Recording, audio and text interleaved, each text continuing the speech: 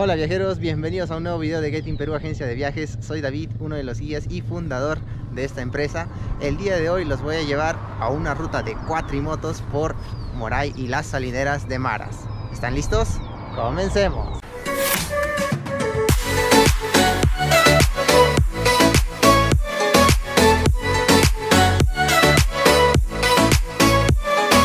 Para hacer esta ruta tomamos un carro temprano por la mañana a las 6.45 y nos desplazamos hacia un poblado llamado Cruzpata que está en la ruta de Chincheros hacia Urubamba, en el Valle Sagrado de los Incas.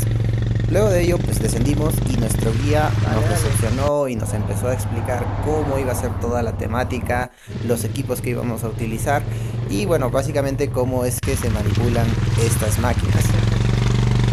Las cuatrimotos que todos los miembros del equipo utilizamos eran semiautomáticas, lo que significa que te subes, las enciendes, accionas una pequeña perilla con tu pulgar y estas arrancan. La verdad no se necesita ninguna licencia, experiencia previa o algo por el estilo. Para los curiosos que quieren saber a cuánto de altura estamos, ya que la mayoría de personas que nos visita proviene o bien de la costa o bien de la selva, ambos lugares ubicados a 0 metros sobre el nivel del mar, pues esta ruta la empezamos a los 3700 metros. Para alcanzar nuestro objetivo, que es el conocer los espectaculares sitios de Moray y las salineras de Maras, vamos a recorrer un total de 32 kilómetros en estas cuatrimotos por alrededor de unas 3 horas. El presente video fue grabado en la época de lluvias, para ser más precisos en el mes de febrero.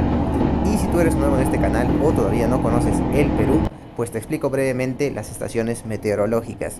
Y la verdad es que en Perú solamente existen dos estaciones al año, que vienen a ser la época de secas y época de lluvias, ambas con una duración de seis meses cada una. Esto en reemplazo de las cuatro estaciones que normalmente nos enseñan en la escuela. Ahora, para entender las estaciones aquí en Perú, pues comencemos con la estación de lluvias, que comienza en el mes de noviembre y va hasta el mes de abril y la época de secas que va desde el mes de mayo hasta el mes de octubre.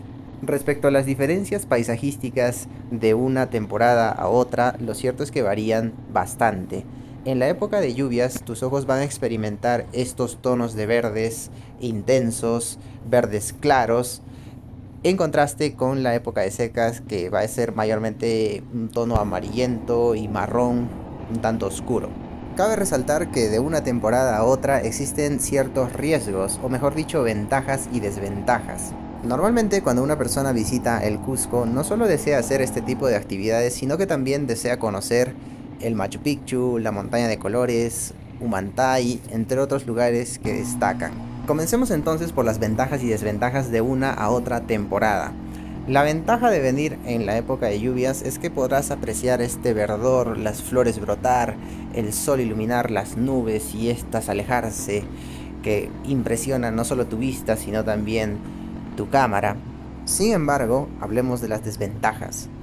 Pueda que el día que tú llegues al lugar X de tus sueños, puede ser Machu Picchu, pues justo ese día esté nublado o esté lloviendo y no llegues a ver absolutamente nada, ni una sola piedra.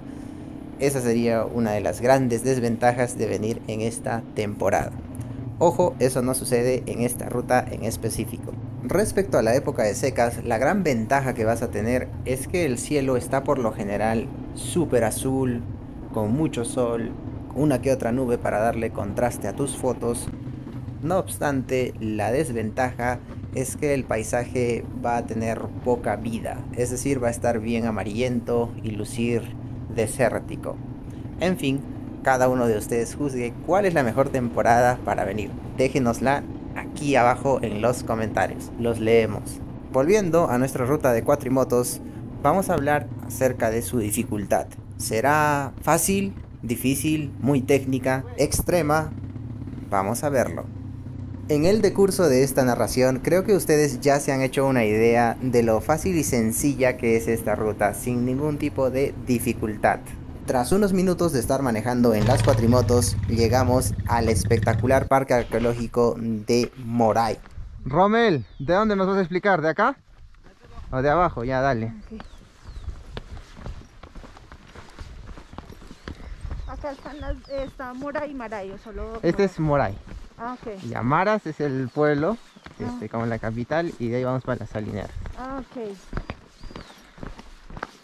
Impresionante, ¿no? Sí, el Coliseo. Romano. Imagínate ir a Roma. Por acá, por favor, ¿ya? Ya te menciona que es una formación geológica natural denominada dolina. Lo característico de las dolinas es que se erosionan fácilmente. ¿ya?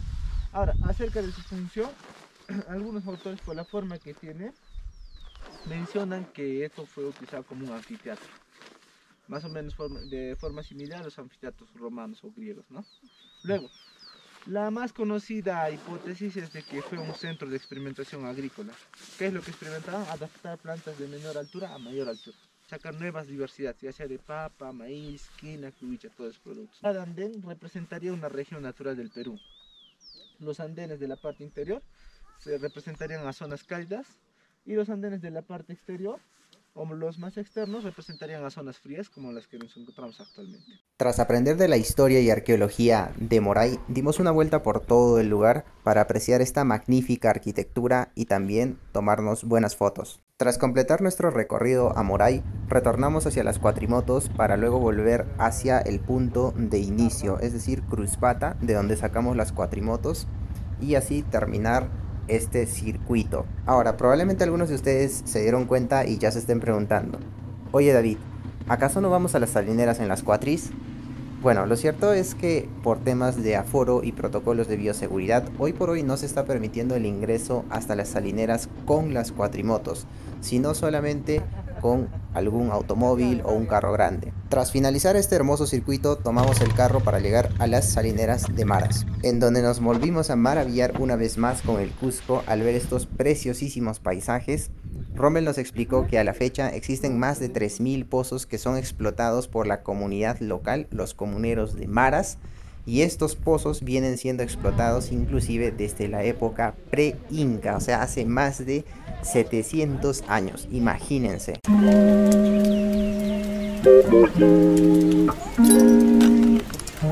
Para cerrar con broche de oro nos llevamos unos cuantos de estos saquitos de sal como souvenir. Y bueno queridos viajeros, si llegaron hasta esta parte del video no olviden darle esos pulgares arriba y al botón de suscribirse para más contenido e inspiración de viaje. Si planeas conocer el Perú y quieres llevarte una bonita experiencia, no olvides de contactarte con los expertos. Somos Getting Perú, agencia de viajes autorizada, convirtiendo tus sueños de viajar en realidad.